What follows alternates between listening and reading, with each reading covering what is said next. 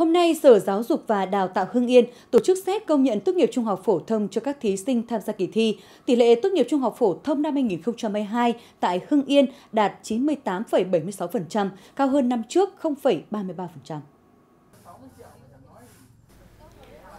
Trong đó, tỷ lệ tốt nghiệp trung học phổ thông tính riêng khối trung học phổ thông công lập là 99,79%,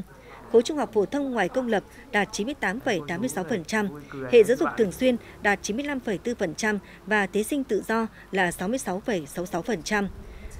Ngoài một số trường trung học phổ thông công lập vẫn duy trì tỷ lệ tốt nghiệp cao trong nhiều năm như Trung học phổ thông chuyên Hưng Yên, Đức Hợp, Yên Mỹ, Ân Thi Khói Châu, cơ sở 2, Trương Vương, Triệu Quang Phục,